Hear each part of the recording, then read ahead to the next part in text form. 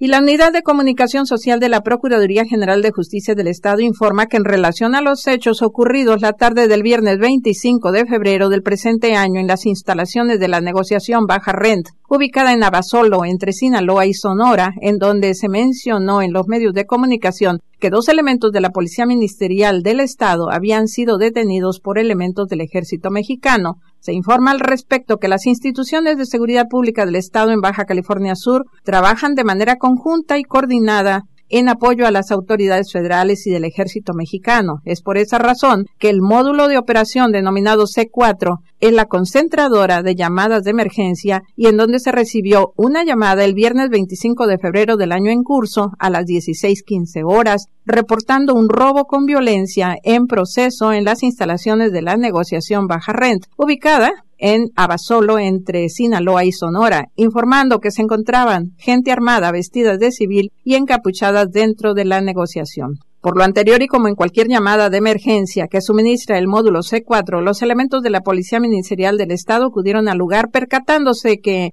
Ahí se encontraban elementos pertenecientes a la Dirección de Seguridad Pública y Tránsito Municipal, quienes tenían aseguradas y detenidas a cuatro personas, tres del sexo masculino y una del sexo femenino, siendo que uno de los detenidos que portaba una pistola en la mano y en la otra un fajo de billetes así como un teléfono celular forcejeaba con un policía municipal, logrando los elementos de seguridad pública y tránsito municipal someter al individuo y esposarlo, asegurando la cantidad de dinero mencionada uno de los agentes de investigación de la policía ministerial. Posteriormente, la superioridad ordenó al agente de investigaciones de la Policía Ministerial del Estado, que estuvo presente en los hechos previamente narrados, constituirse en las instalaciones de la tercera zona militar para entregar mediante oficio el dinero asegurado, como en cualquier aseguramiento realizado por la Policía Ministerial del Estado, por lo que posteriormente se informó que ya no se le permitió la salida de las instalaciones militares